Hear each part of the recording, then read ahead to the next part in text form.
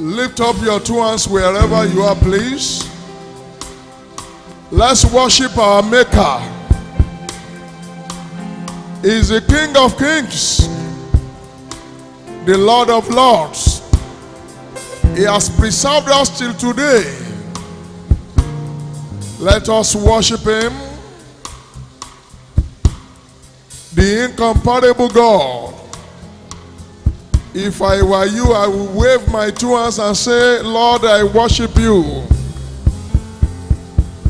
You are the controller of the heaven and the earth. You are the one who always have the final say. Let's worship him. Let's worship him. Father, we adore you. Father, we magnify you. We give you all the glory. We give you all the honor. We give you all the adoration. In Jesus' name we pray. Church, please, I want a louder amen. I have been mandated by the Redeemer's men to preach on a topic titled Building Kingdom Man. Building Kingdom Man. In my own way, I want to change it to Building Kingdom People, since we also have women in the house. We can still retain the topic if we are using man in generic sense. If we are using man to refer to human being, whether kingdom people or kingdom man, the topic is building kingdom people. Let someone shout hallelujah.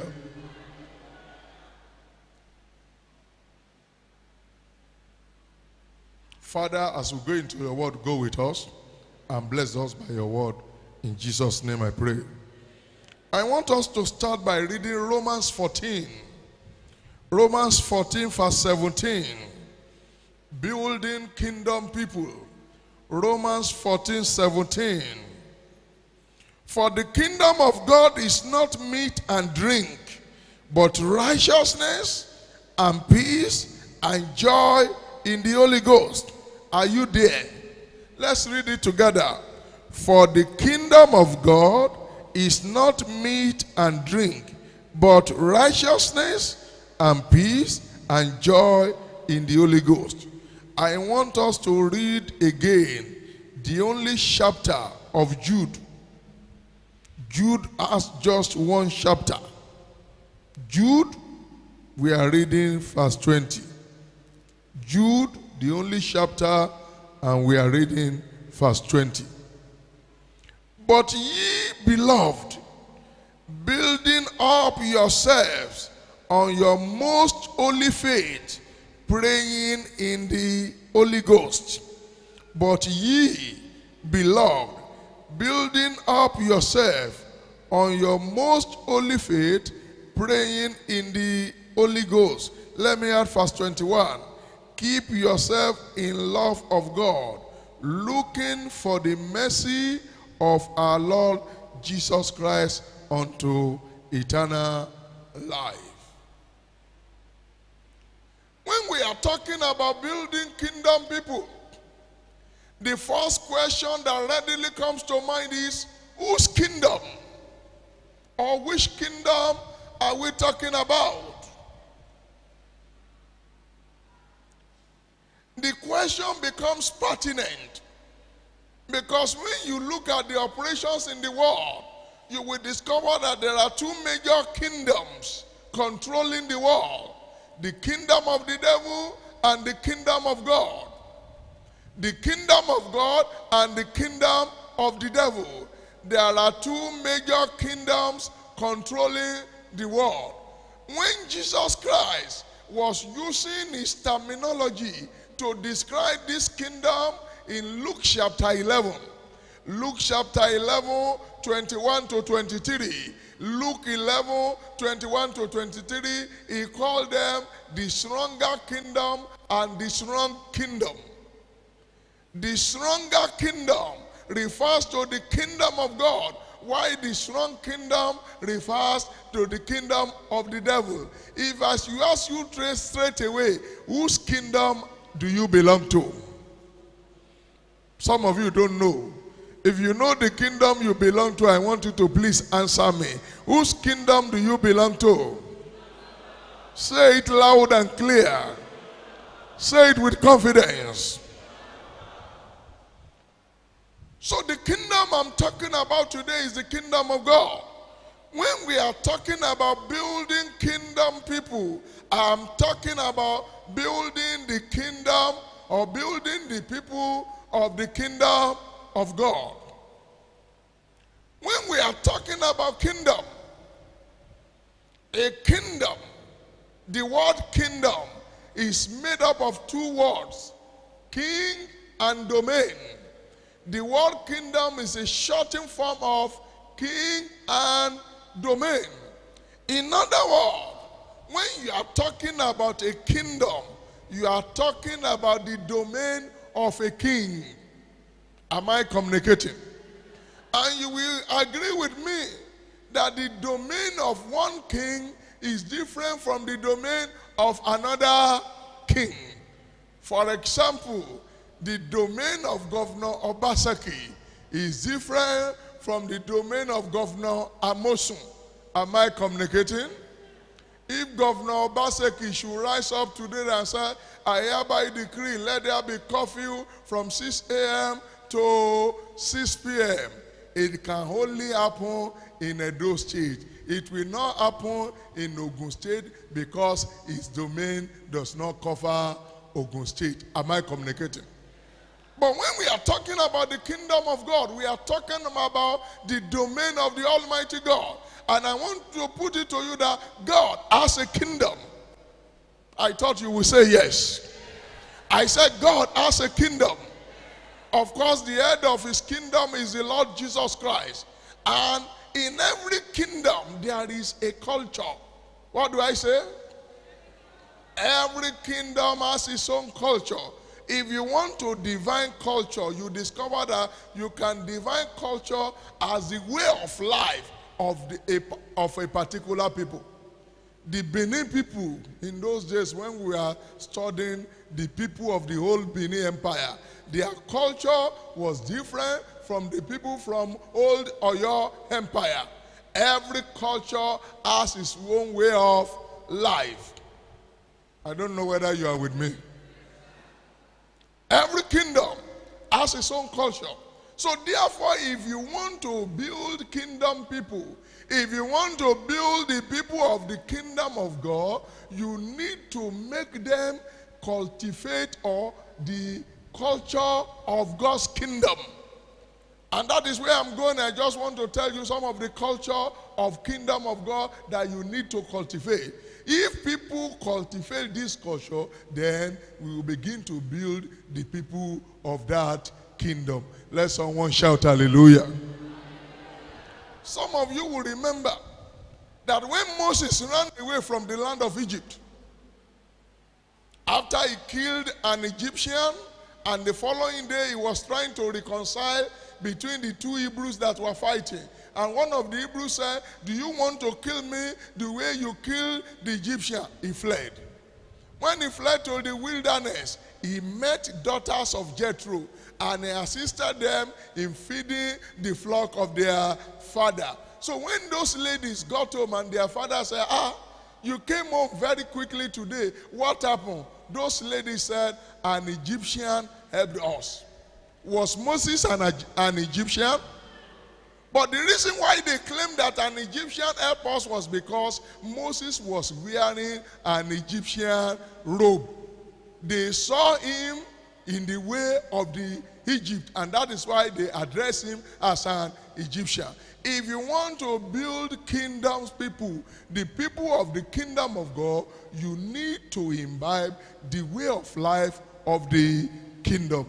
I'm not talking about the kingdom of the devil now. I'm talking about the kingdom of God. So I mention some of the culture of the kingdom that you need to imbibe so that you can be a giant in the kingdom. Number one, The culture of the kingdom of God is a culture of righteousness. I want you to tell your neighbor, it's a culture of righteousness. That is why Romans 14 17 tells us that the kingdom of God is not in meat and in drink, but in what? In righteousness. If you want to develop as a giant in the kingdom of God, you need to cultivate the habit of righteousness. What do we mean by righteousness? Righteousness simply means living a holy life, living a godly life, forsaking the way of sin. In the world we are today, righteousness is becoming unpopular. People think if you want to make it fast, people think if you want to get to the top easily, you have to forsake the way of righteousness. No. But if you want to develop as a giant of his kingdom, you need to cultivate the culture of what? Of righteousness. Tell your neighbor, always be righteous. May I appeal to all men in the house.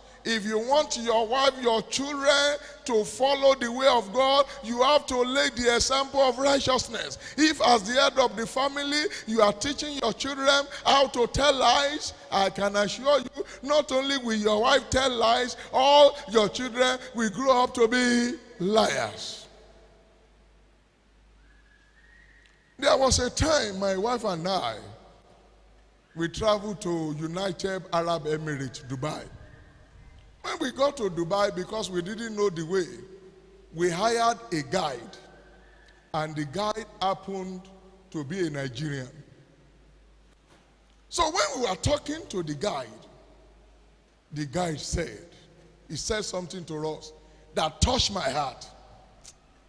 He said, Daddy and Mommy, I'm a Nigerian. I came here thinking that maybe if God assists me, I will be able to make it. I said, Why didn't you stay in Nigeria? He said, ah, I don't think we will ever make it in Nigeria.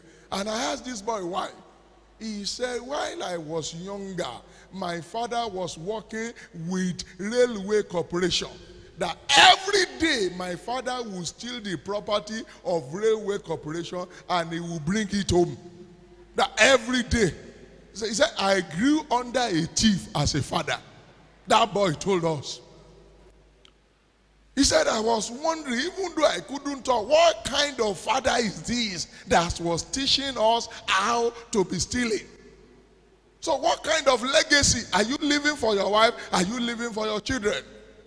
So, the culture of the kingdom is a culture of what? Righteousness. I want everybody to say righteousness. Say it louder. Righteousness means to be godly, to do that which God wants you to do, and live that which God does not want you to do. An example of a man who followed the culture of righteousness is Joseph. When Joseph found himself in the house of Potiphar, according to Genesis 39, if you begin to read it from verse 1, he was faithful, he lived holy.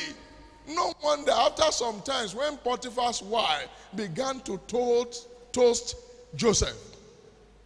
He said, Young man, you are very handsome. I even prefer you more than my husband. Joseph said, How can I commit this evil and sin against my God? Do you know if it were to be some of us who would say, God, see me see trouble.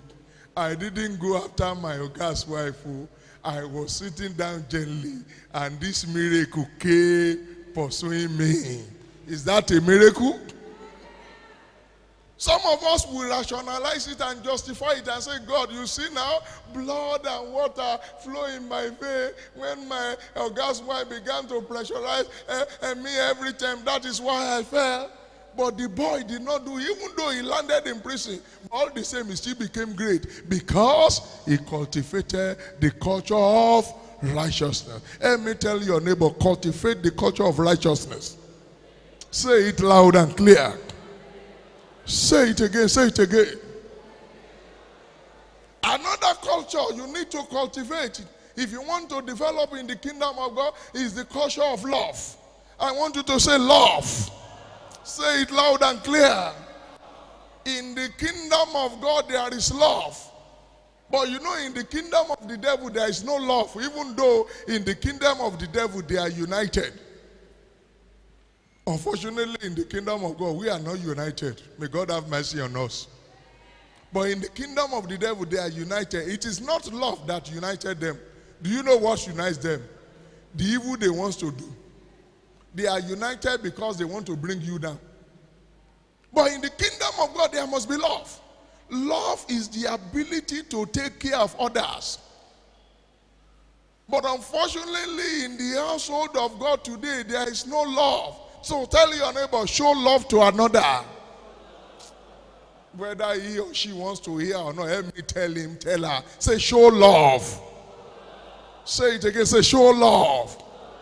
And there are some men in the house, they will abandon their wife, abandon their children, and yet they will begin to show love to other people. If you are showing love as a man, let it begin with your members of your household. Women, am I talking sense?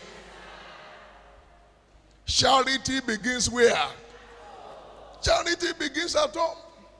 If you have money, let your wife enjoy part of your money. If you have money as men, let your children know that you have money.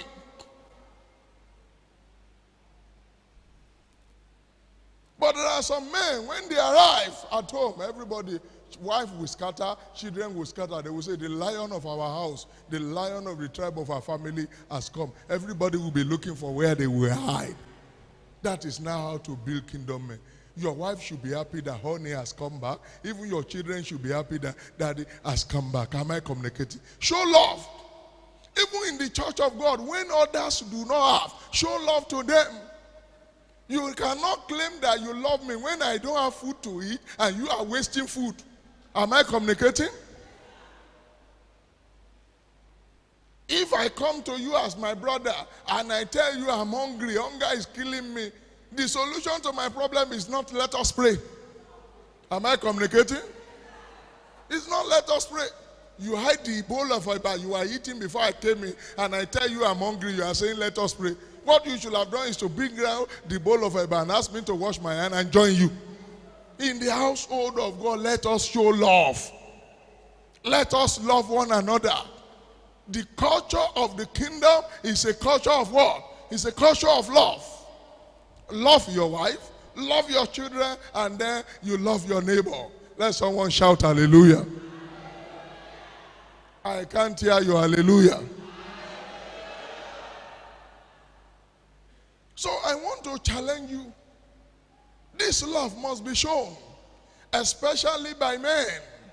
It is not by accident that God has made you the head of the family. I want all the men to say yes. But you are not the head by the word of mouth. To, to that your headship, there attach a lot of responsibilities. In fact, the Bible says that anyone who cannot provide for his house is even worse than who? Is worse than an infidel. I pray for all our men, whatever you will need to take care of your responsibility, the kind of money that will disgrace your responsibility, God will provide for you. Number three, our culture is a culture of faith. I want you to say faith. It's a culture of faith. If you want to develop your spiritual muscle, you want to develop as a member of the kingdom, you must live by faith and not by sight. Tell your neighbor, live by faith and not by sight. Four times God said it in the scripture that the just shall live by. The just shall live by what? Is he shall live by sight? The just shall live by faith. Habakkuk 2 4, Romans 1 17, you see there, the just shall live by faith. What is faith? Faith is believing that God is able to do that which he has promised to do. Can he fail? You are not answering me. Has he failed you before? He cannot fail. Faith is believing that God is able to do that which he has promised to do. Therefore, put your trust in him. Don't live by human reasoning. Some of us live by science. You are to live by what? By faith. Put your trust in God. He will never put you to shame. If you cannot exhibit faith, you cannot develop in the kingdom. When people like Daddy uh, Adeboye, is saying that God is building an auditorium like the city of Ibadan for him, He's talking with what? With faith. I know years ago he said God is building an auditorium like the city of Ibadan for him. That when he will be making an altar call inside the auditorium, people will be bringing, they will be using cars, vehicles to bring people to the altar. Even though it has not started happening, but something of such has been happening now. Have faith in God. You are to live by what? By faith. Do you know that by faith you are not going to crash? I can't hear your yes. I said by faith you will not crash. By faith you will survive in Edo State. By faith you will survive in Nigeria. By faith that promise of God will come to pass. I said it will come to pass. Lift up your right hand and say, I believe God. Say, I believe God. It is not possible for you to be ashamed. It is not possible. Because if you have faith in God, if you trust Him, it will surely do it. So it's a kingdom of faith. No wonder the disciple cried to Jesus and said, Lord, increase our faith. You need to work on your faith. That is why I read that Jude chapter 1, 20. That said, you need to build your faith. You must build your what? Your faith. Another point is to say that it's a culture of non-compromise. Culture of what? Non-compromise. I discovered that if you want to build a kingdom people or if you want to develop yourself, you must learn not to compromise. A lot of things are happening around us that will make you compromise your faith. Tell your neighbor, don't compromise. That is why I love and I have been praying for that. Uh, I've forgotten her name now. One of the Dapchi girl who said she would never compromise his faith. When they asked her to renounce Christianity and compromise her faith, I'm sure you had the news. The lady said no. That tell my mother, tell my father to keep on praying. I will not compromise my faith. But there are some of us there are some ladies now, they compromise their faith because they need job. Some compromise their faith because of one thing or the other. It's not going to last. Learn from Daniel. When Daniel was in the land of Babylon, Daniel 1 8, the Bible says that Daniel proposed in his heart, Daniel 1 8, not, defi- not to defile himself with the portion of the king's meat.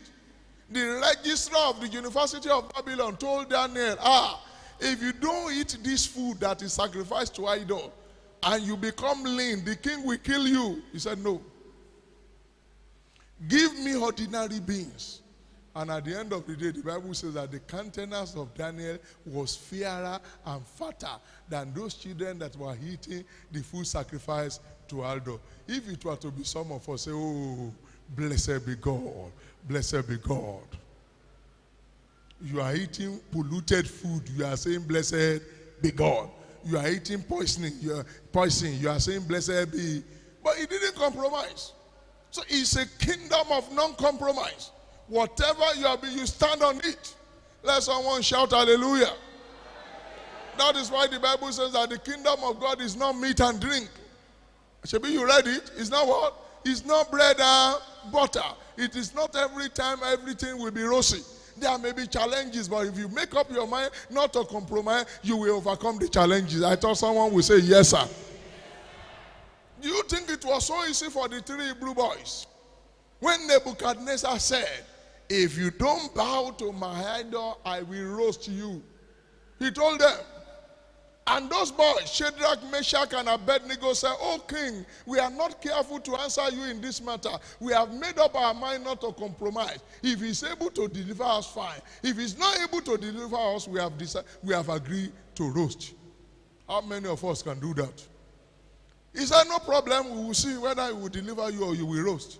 He increased the, the, the, the, the tempo of the fire. In fact, those who threw them into the fire died. But before they landed in the fire, the fourth man was already waiting for them. And at the end of the day, they were promoted because they didn't compromise. In what ways have you compromised your faith? God is talking to you. You better change your way. It's a culture of non compromise. Let me mention one or two more and we'll begin to close. It's a culture of giving and sacrifice. If you want to build kingdom people, kingdom people must know that one of the culture of the kingdom of God is a, is a culture of what? Giving and sacrifice. To be part of the kingdom, you must be ready to give. The Bible says in Galatians 6 7, it says, Be not deceived, whatsoever man swear, he shall do what? He shall reap. One of these days I will going to I will preach on the law of harvest. It is whatever you sow, you will reap. If you sow in naira, you will reap in naira. If you sow in dollar, you reap in dollar. If you sow fake, you reap fake. That is why the Bible says that if you sow wind, you are going to reap what? Wild wind. But it, it goes even beyond the issue of money. You can sow your talent. Tell your neighbor, sow your talent. Some of us are gifted. God have deposited potential into us. Are you using it for God? The first day I, I, I saw a sister in this church handling the video camera, I discovered that the sister was very committed in handling it. Then I, I called her. I asked her one or two questions. I discovered that she was just using her talent for God. She was not on the payroll.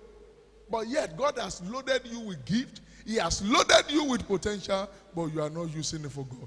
All you have been doing, don't be annoyed, is that some of us we have been warming benches all the time. May that not be your portion.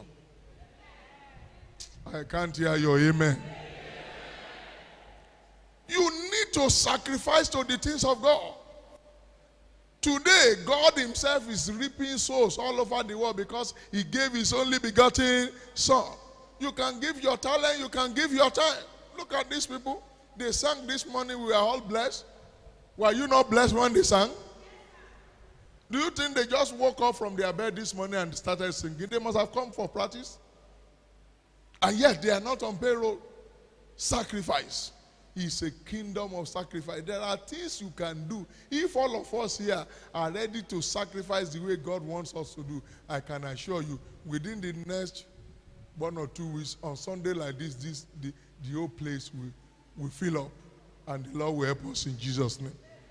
I said, God will help us in Jesus' name. As I close, let me add this to it.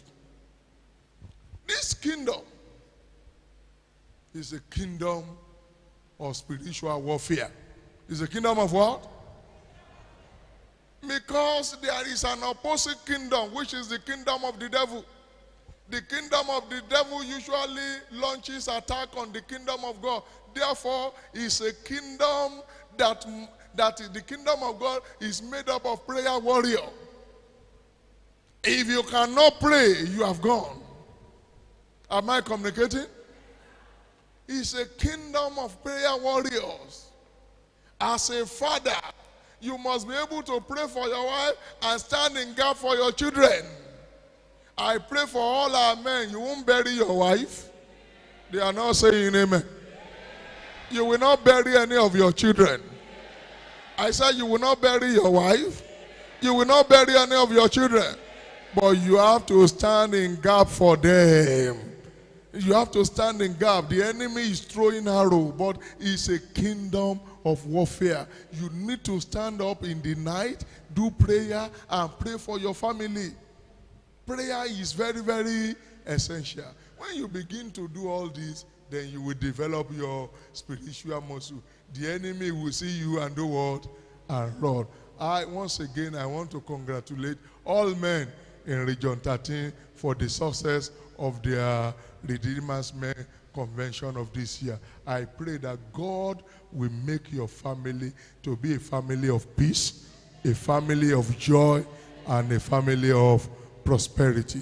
But if you can work on all these things I've mentioned, I can assure you your family will surely develop. Please rise to your feet. Rise to your feet.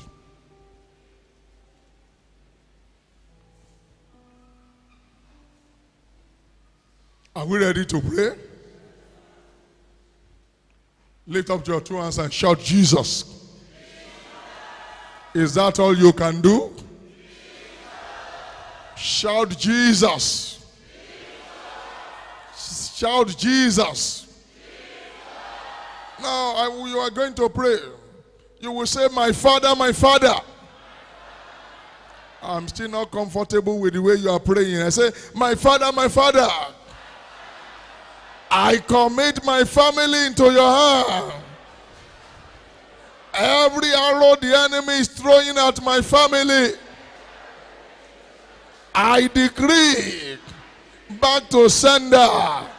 I decree every member of my family will do your will and they will serve you. Begin to pray in the name of Jesus. Begin to pray, begin to pray. Say, My Father and my God, I pray for my wife. I pray for all my children. I pray for all those who are living with me. Every arrow, every bullet that the enemy is throwing at them, I say back to sender. In the name of Jesus, back to sender. You better go ahead and pray. Back to sender. I decree my family will serve God.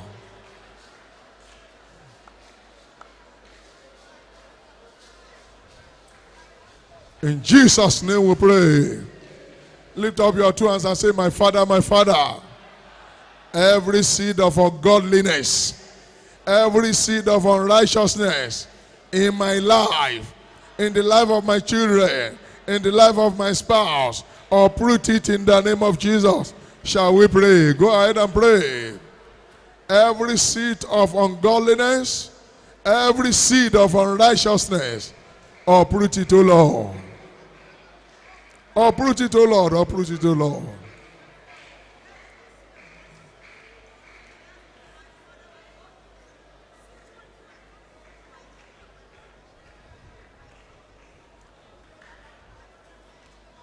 In Jesus' name we pray.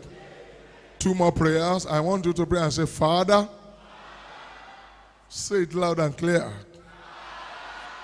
The grace not to compromise, the grace to stand on your word at all times, release unto me. Shall we pray? I don't want to compromise. I want to serve you till the end.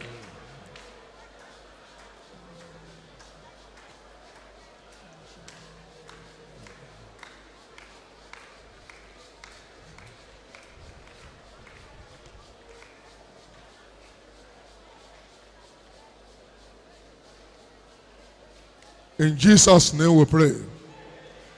Finally, all the men in the house, especially if you are married, you will mention the name of your wife and you begin to pronounce blessing on her. For example, you say, Abiodun Balogun, that's the name of my wife. If you have forgotten the name of your wife, you can use my own. Say, I decree in the name of Jesus, in my house, you will flourish, you will blossom, you will prosper, you will shine. I want all men, mention the name of your spouse, mention the name of your children one by one, prophesy something good to them. Am I communicating? And those of us who are married, mention the name of your husband and say, This man you have given to me in my hand, he will not crash, he will not fall. Listen, if you are a youth in the house, your own prayer is that God, you will give me my friend as when it is time for me to marry, I will not marry my enemy. I will marry my friend. I will marry someone who will pamper me, someone who will take care of me. I will not marry a lion. I, I, are you ready? Everybody shout the name Jesus once and pray. Begin to pray, whichever one that is applicable to you. Mention the name of your spouse, the name of your children, and begin to pray.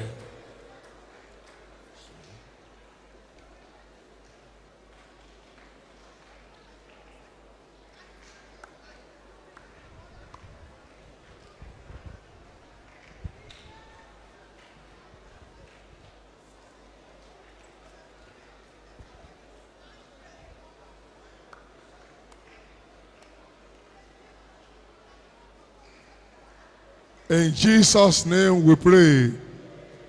Amen. Say louder, amen.